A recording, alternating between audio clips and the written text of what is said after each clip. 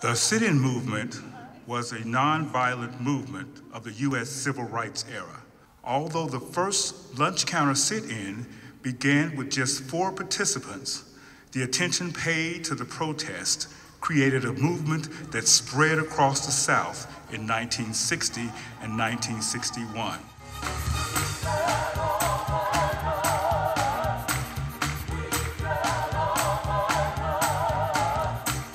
Tonight was absolutely phenomenal. It was so incredible to have members of the 1960 class of Howard High School here.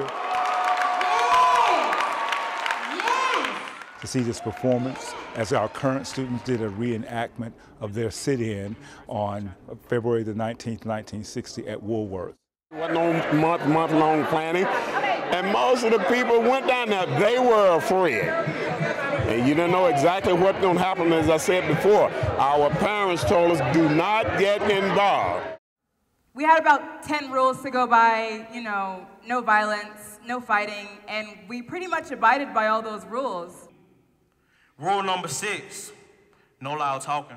When you did it, how did you feel? Well, you know, like I told you earlier, they were all afraid, hoping when nothing happened. You know, then there's a few incidents happened thereafter, but nobody got killed. They were overjoyed to see the smiles on their faces, to understand and to know that these students now know who they are. This has made me feel better about what I've done. To see them come out here and support us, knowing that we are actually letting people remember and knowing that what they did, because like I said, I never knew that they did this until, what, about a month ago? I mean, this is living history for Chattanooga and for Howard High School. So nothing uh, could be better. No textbook, no video, no movie could take the place of what these students experienced tonight uh, by having that class here.